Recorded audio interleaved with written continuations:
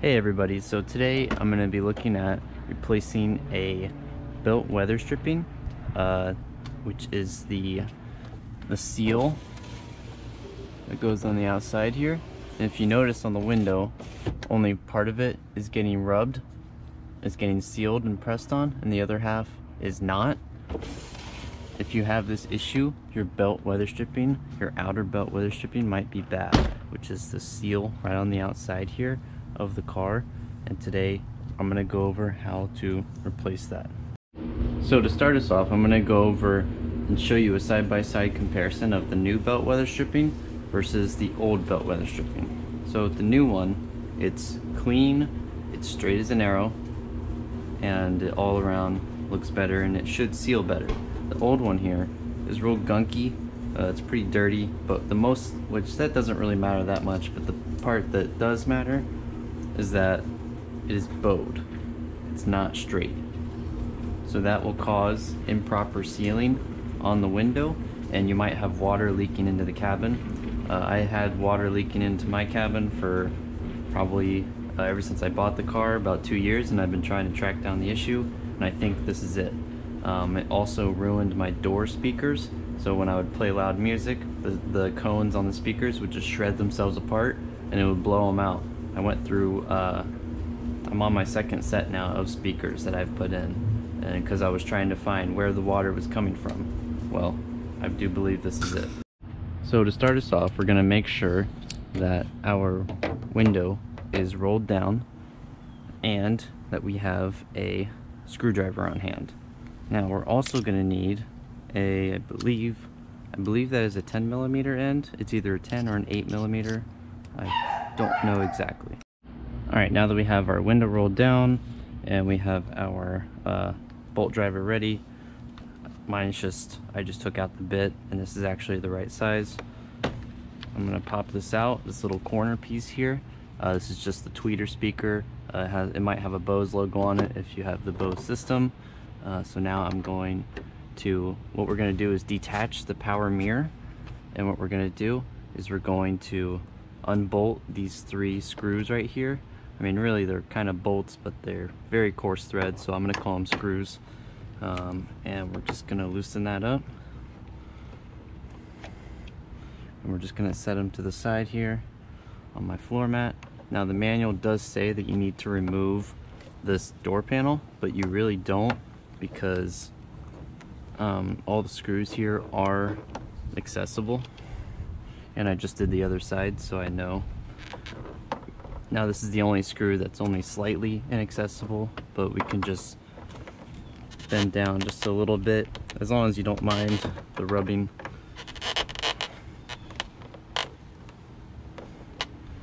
We're just gonna pop that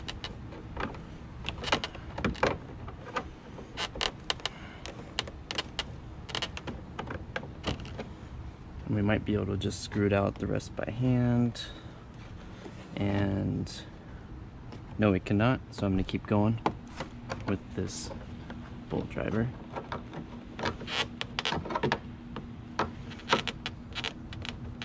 Um, you could also just use a little uh, ratcheting wrench here if you wanted um, because it is a hex head and I just dropped it I'm going to put it right down there in a safe place. Now, from here, it should pop out. You have to do it at a little bit of an angle in order to get it to pop out smoothly if you don't want the little pegs breaking. There we go, that side slipped out. And from here, there's this little gasket. We're gonna leave that. And I do believe Yes, okay, so we do need to take out that screw and all that screw is doing is holding that wire taut. So I'm going to unscrew it so that way we can snake the wire around it just like so. There we go. So now we can just leave the power uh, power mirror hanging just like that. I'm gonna put the screw down here with the rest of them. And from here, we are almost done already. Now the, the manual does say that there's a little clip here that you can take out um, I was not having success in taking out the clip. Um, just like that. Okay, it comes out, yeah. So I just pried up on that there. There's a little clip on that side. And this side just slides over. And the rest of it should pop out here. Now I'm not going to worry too much about doing this non-destructively because I'm replacing it with a brand new weather stripping. But if you're going to reuse yours because you just need to get in here to do something, then uh, just be more careful than I'm being.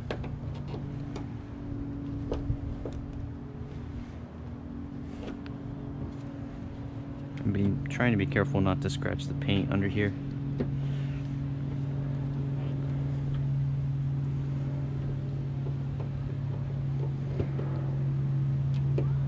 But it might scratched anyway.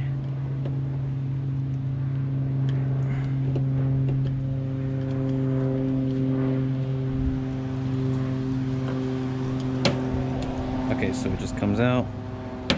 There we go. You just start from the rear and you work your way forward. And just like so. There we go. It came out the rest of the way. Now that is pretty dirty and it's wet as well all the way down which means that it was leaking through a little bit and if we see underneath here it is very very dirty so I do have um, a rag or microfiber cloth and some soapy water. I'm just gonna spray on the rag here. I don't want to spray directly into there because this is just gonna send water down. And basically I'm just gonna clean this all out just that way it's starting fresh. I'm gonna have this open, I might as well. I mean, that's pretty dirty. So I'm actually to use a different spot of the, the towel now.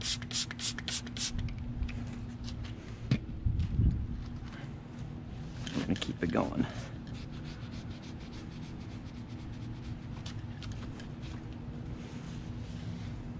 There we go.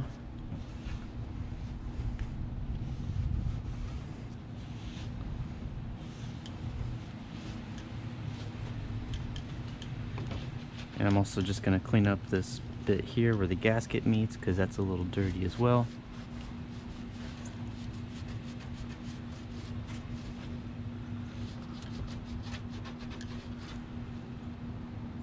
That got pretty dirty. Looks like a, a shell of a beetle or something. You find a lot of things in your car when you're cleaning it, so you know, it's exposed to the elements, so you can expect these kind of things to happen. Alright, so that's good. We have our brand new one right here. It has the brand new clip already attached to it, so I don't have to worry about reusing an old clip or something, because they usually break when you're taking them out. Um, so I'm just gonna basically just go start at the clip. Actually, I'll start on this end just get it partly on. Not all the way yet. Get the clip installed. It'll snap. I just press down the whole length and you'll hear it snap.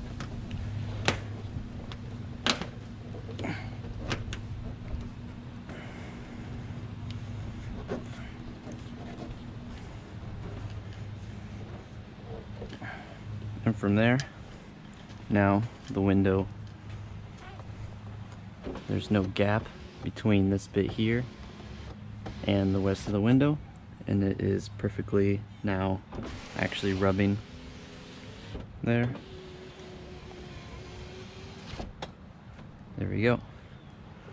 And that is that.